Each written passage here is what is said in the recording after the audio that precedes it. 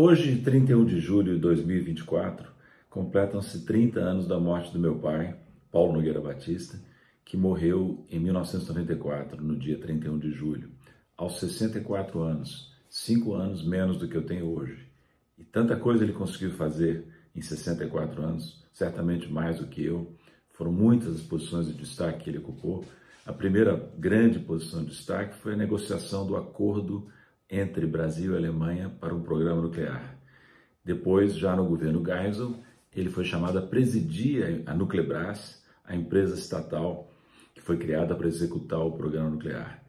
Ele enfrentou muitas resistências que eu acompanhei quando jovem, resistências internas e externas ao Brasil. E as internas ao Brasil influenciadas também por esses fatores externos. Por exemplo, aqui no Brasil, o setor hidrelétrico, temendo de maneira, a meu ver, não justificada, a concorrência da energia nuclear como produtora de energia elétrica, fez o possível para dificultar o avanço do programa. No exterior, havia duas forças importantes que se opunham ao programa nuclear Brasil-Alemanha. Uma é os, é os Estados Unidos, a outra a União Soviética. Vejam vocês que esses dois, essas duas potências que eram rivais do ponto de vista geopolítico, entretanto se punham de acordo para barrar a proliferação nuclear e para outros países, mesmo que para fins pacíficos. Então, a grande dificuldade foi essa: havia inimigos externos e internos, sendo que os inimigos externos tinham seus aliados internos. Por exemplo, os Estados Unidos tinham aqui dentro a tradicional direita conservadora, muito ligada aos Estados Unidos, a quinta coluna mais tradicional. Mas havia uma outra quinta coluna, uma segunda quinta coluna, que era aquela ligada à União Soviética. Os comunistas e eh, outros setores da esquerda que se identificavam com as preocupações, até com os interesses da União Soviética, mesmo quando conflitavam com o que se podia considerar o interesse nacional. Então ele lutou muito esses anos todos, de 74 até o final da década de 70, e aí o programa nuclear brasileiro foi interrompido prematuramente, já no governo Figueiredo, quando houve a crise da dívida externa e o então superministro de Economia, o Delfim Neto, começou a cortar os investimentos públicos, como sempre se faz nesses momentos, e acabou sacrificando o programa nuclear brasileiro. Meu pai então pediu demissão e resolveu voltar ao Itamaraty, de onde ele tinha se licenciado quando assumiu a presidência da Nuclebras.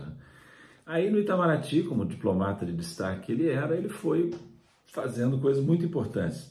Por exemplo, foi embaixador do Brasil no GATT, que é o Acordo Geral de Tarifas e Comércio, General Agreement on Tariffs and Trades, o acrônimo em inglês GATT, que era o que, que era o precursor, foi o precursor da Organização Mundial do Comércio, que seria criada depois. E na condição de embaixador brasileiro no GATT, ele teve um destaque enorme quando participou da negociação da rodada Uruguai. Ele foi tão bem importante nessa rodada, tão bem sucedido, enquanto ele lá esteve, que ele deixou uma marca que até hoje não é esquecida por aqueles que, que conhecem a história das negociações comerciais internacionais. Ele foi um dos principais diplomatas da geração dele, sem dúvida nenhuma. Não era um diplomata qualquer, era uma pessoa de grande destaque, de grande capacidade, de grande conhecimento, conhecia muito estudioso também, muito estudioso dos temas econômicos e políticos internacionais e, e ele foi dali de Genebra, onde ele estava no GATT, ele foi para ser o embaixador brasileiro nas Nações Unidas, representante do Brasil nas Nações Unidas. E ali, de novo, ele teve posições de grande destaque, por exemplo, presidiu o Conselho de Segurança da ONU para negociar a paz entre Iraque e Irã na época, né? E foi, de novo, muito, muito importante na sua passagem por Nova York e pelas Nações Unidas. Entretanto, aconteceu uma coisa que interrompeu a trajetória dele no Itamaraty, que foi a eleição do Collor em 1989, com posse em 1990. O, o, o Collor e seu entorno formaram a convicção de que meu pai era um embaixador lulista, embora ele nunca tivesse tido contato com o PT, muito menos com o próprio Lula. Formou-se essa ideia no campo do Collor, e quando o Collor chegou ao poder, ele então resolveu com a equipe dele, mandar o meu pai para mais longe, para mais longe possível. Então perguntaram, segundo se comentou na época, para onde é que nós mandamos esse embaixador lulista? Vamos mandar para o fim do mundo, Finlândia foi a escolha. E ofereceram Finlândia para ele, ele recusou.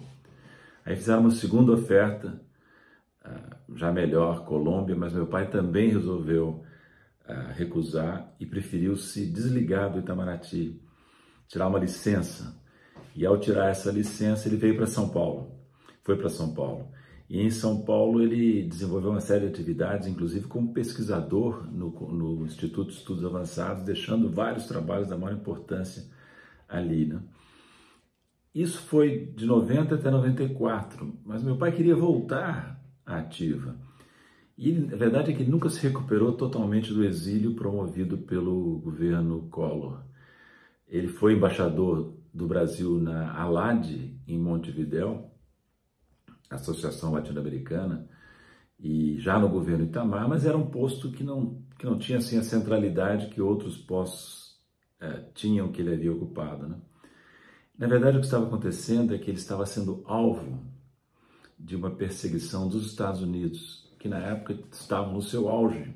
A União Soviética tinha acabado de entrar em colapso, sobrou uma, uma única superpotência no momento no chamado momento unipolar, os americanos aqui tinham uma influência muito grande no governo Itamar mesmo, mas também nos governos anteriores e posteriores. Né? O... Então, em 94, meu pai morre frustrado, amargurado, não sem antes, entretanto, deixar um trabalho da maior importância que ele escreveu poucos meses antes de morrer, que foi o trabalho sobre o consenso de Washington e os problemas da América Latina, Trabalho que eu recomendo vivamente a vocês que não, porventura não conheçam. Esse trabalho do meu pai foi publicado pela Paz e Terra e depois em outros veículos. E foi, ele foi precursor da crítica ao consenso de Washington, que hoje é, de, é abandonado e até denunciado a, pelos próprios americanos, por ironia da história.